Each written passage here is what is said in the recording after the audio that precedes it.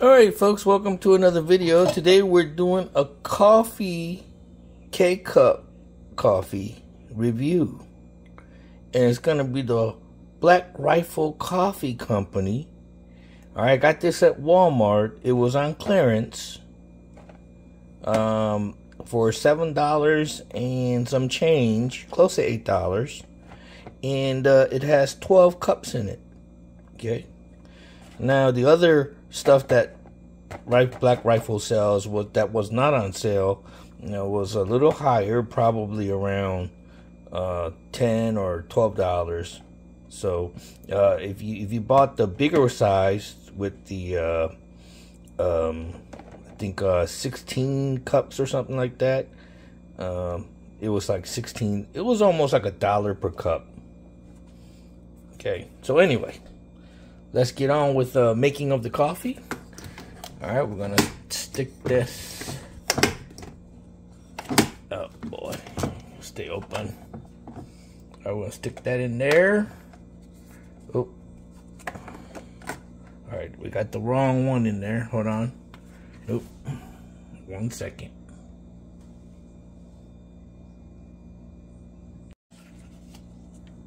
All right, we got this. I'm gonna put that in there. Put that in there. All right, and we get the water, mug of water. Put that in there. A little messy. Yep. I think I made a little mess. Yep. Okay. I'll close that up. Put this under there. And let's see. Get that boiling. After we boil it, we'll come right back. All right, we're back. Uh, finished boiling. Let's get this coffee out of there. It's still dripping a little bit there. I tell you what, while it was uh, boiling and, and filling the cup, I could kind of, the smell wasn't really strong, but the, uh, I could feel the, I could almost feel it in my nose. Uh, that uh, aroma. Okay, the aroma was definitely there. Um, the, the the difference between smell and aroma is aroma has that uh, I, I don't know it, has it fills your uh, nose and lungs with a, a, something almost like solid feeling, you know, and uh, I could feel that.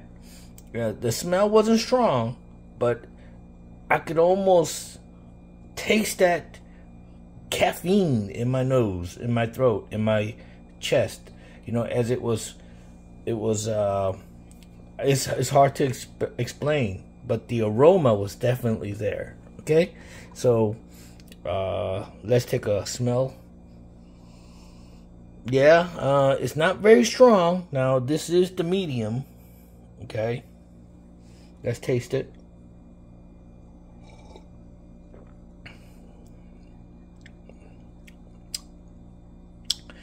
Uh,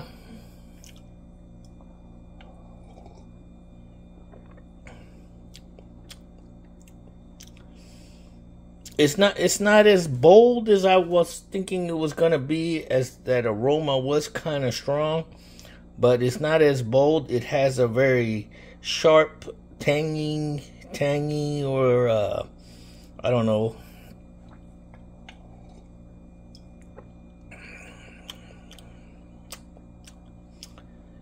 yeah, not very flavorful. Uh, it is uh, it has a tangy bitterness to it, but the coffee taste is not there. I'm afraid. Uh, it doesn't. Um, as you can see, it wasn't a lot of water, uh, and uh, it's still I don't know. It's not strong coffee. It's like I said, it's medium. So the tanginess and the bitterness is there, but uh, but the coffee flavor is a little lacking. I'm afraid. Yeah. Um, now, the reason I was doing this uh, review is because where I work, I ran into a fellow who used to work at Black Rifle Coffee Company. Okay, he said he used to work there for years.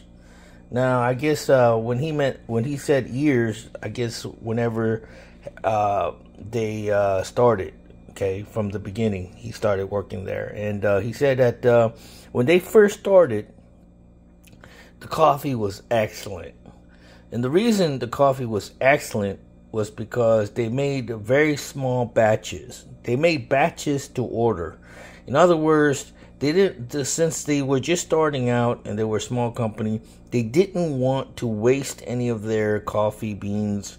So whenever they roasted a, but, a batch, they would roast to order. In other words, when customers ordered, when there was a, a wave of orders coming in, that's when they uh, roasted the beans and shipped them out. So they were pretty fresh. Now, freshness is everything to a coffee. I mean, it's probably more important than uh, the quality of the beans itself. Okay, uh, if you get a fresh ground coffee, I don't care if it's from Folgers, Maxwell House, or whatever.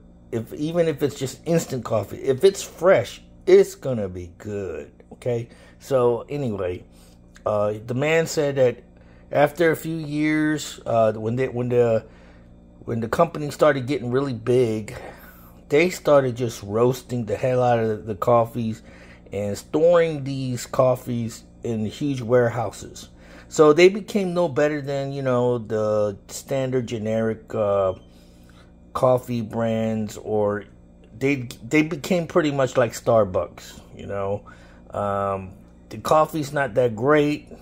Uh, it's not great tasting.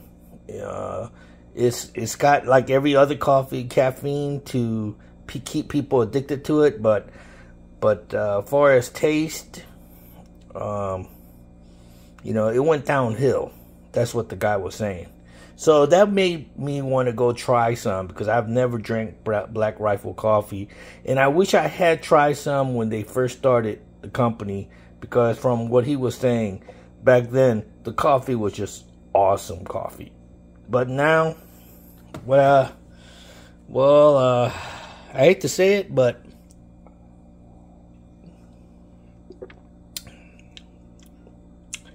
I've had, I've definitely had better. All right. Thanks for watching.